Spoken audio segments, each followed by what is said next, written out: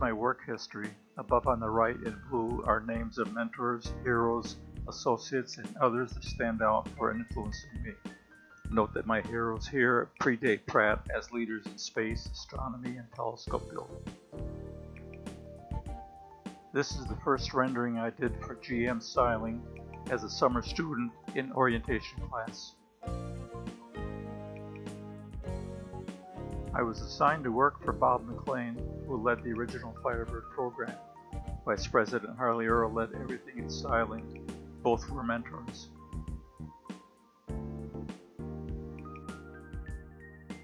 These photos are from GM's 50th anniversary celebration in 1958.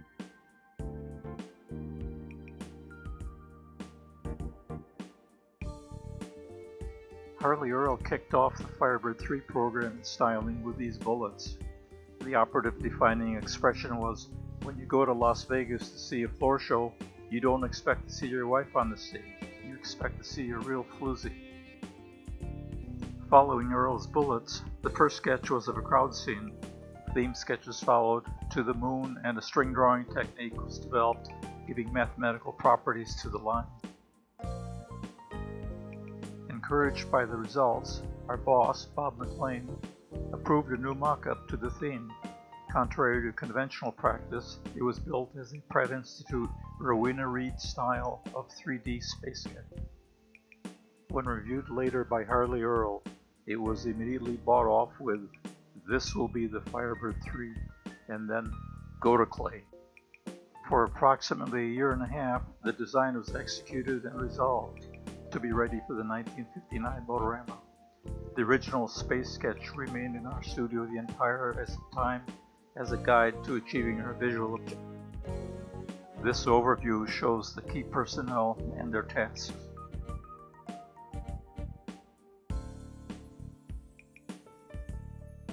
In this photo, the GM photographer prepares to take the classic photo of Harley Earl with the three Firebirds the Firebird 3 representing his last concept car. Bill Mitchell would replace him as VP of Styling. This quote of Professor Carl Olson attests to its design resolution.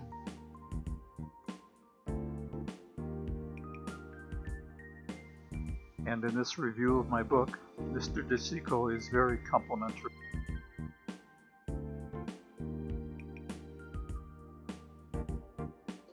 There was some wind down after Firebird 3 and in the transition to Bill Mitchell's ascendancy as head of styling, with investigations into different vehicle architectures. In this XP 721 Ramwing concept, I explored an opportunity that came up and accepted a transfer to the GM Defense Research Laboratories in Santa Barbara. The most noticeable change outside the obvious content of the work was in the conversion to a proposal nature of mostly black and white graphics supporting customer-centered marketing efforts. Interesting in the presentation of proposals was the adaptation of graphic styles and techniques uniquely applied to special circumstances. Also shown in the upper right is a support exercise assisting GM R&D computer graphics programmers in the early CAD days. These figures are intended to show that in the earliest days very little was known of the lunar surface for sizing vehicle systems of any type. The biggest question was whether soil properties were mostly volcanic or meteoric in nature. A concern by Professor Tom Gold of Cornell was that the surface may be a fairy castle dust in structure held together by static electricity only, and that vehicles would sink deep into the dust and be lost. The SLRV shown here was proposed to be landed on site by a Surveyor spacecraft to certify out an Apollo site to be safe. These views show a proposed lunar mobile laboratory. The MTA shown lower left was a test vehicle built by GMDRL. The chassis at one-sixth the true vehicle weight would behave on Earth exactly like a full vehicle on the Moon. Before we went further with large vehicles, our attention returned to support Apollo. The most pressing issues were whether rovers should be one man or two men. That is, do we want to risk losing one or both astronauts? Left GM before they won the contract to build the rovers. Shown here is the lunar rover with its key people. To the right is a wheel and drive test that I supported while I was still there, and the wheel patent that was shared by several of them. I left GM to join Sundberg Ferar in Burbank, California to work on the Lockheed L1011. This overview shows the diversity of the industrial design tasks for passenger accommodations that were covered for the various customers. With completion of the L1011 contract, I left Sundberg Ferar to join Rohr Industries, deeply involved in mass transportation, having bought the Flexible Bus Company in Ohio and setting up its transportation division in Chula Vista, California, with its own industrial design department. These photos show various stages of the program. This slide shows the manufacturing plan, where most parts are sub-assembled, that is, the seats are already attached to the sidewalls, the floors, roof, chassis, and end caps are all complete, then all collected for final assembly. The first time anyone enters the bus is for the purpose of driving it off. Rohr sold the bus factory and the program to Grumman, and I was transferred to the Marine Division to build the 3K SE. This was a U.S. Navy 3,000 ton surface effect ship that would ride on a cushion of air to speeds up to 90 knots.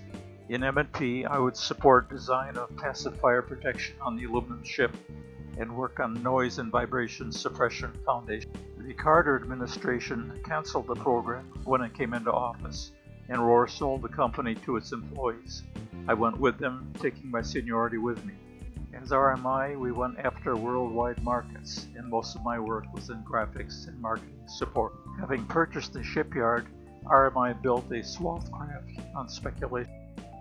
We bid on LCAC, Landing Craft Air Cushion, a hovercraft, which we lost, and a Special Warfare Craft Medium, SWCOM, for SEAL Team operations, which we won and started building. Unfortunately, RMI ran into problems and went into bankruptcy before it was completed. I joined my old Rohr boss in an industrial design office he had started. I worked to perform on a small business innovative research contract he had for locomotive engineer and alerter device. Some of the analysis and report data shown here. I also submitted a proposal based on my telescope patent as a principal investigator to conduct a proof of concept test to validate Earth-based observatories using gyroscopic devices for tracking. It was not approved for follow-on returned to the Rohr Aircraft Division as a new employee as Group Engineer of Design to Cost, leading a value engineering team for cost reduction of engine nacelle inlet, fan cowl, and thrust reverser system. In a secondary assignment, I performed to report risk management for Rohr on thermal protection issues on the Lockheed Martin team for the X-33. The Rohr X-33 was also supported with concepts for design, manufacture, of thermal protection aero surfaces as shown here, titanium sandwich structures for less critical topside surfaces. Seals were the highest risk items of the thermal protection system. This illustration calls attention to a graphics change in drawing techniques with the establishment of PowerPoint as a universal corporate communications tool. PowerPoint contains its own graphic tools and conventional drawing techniques have been abandoned to almost exclusively utilize the PowerPoint medium. This slide demonstrates those PowerPoint techniques as applied for conceptual designs. In the cases shown, concepts for patents already published and now in public domain are shown with their conceptual design as they were submitted. Otherwise, this is a list of my patents awarded or pending. Following issuance of my patent, experiences gained in telescope making, tooling, and especially the hands-on lessons of advanced prototyping played heavily to the benefit of my day job values added. In March of 2015, I received a Career Achievement Award from Pratt Institute at the University Club in Manhattan. Ironically, only a few blocks from where my career began with a showing of the Firebird 2 at the 1956 Motorama in the Waldorf Astoria main ballroom.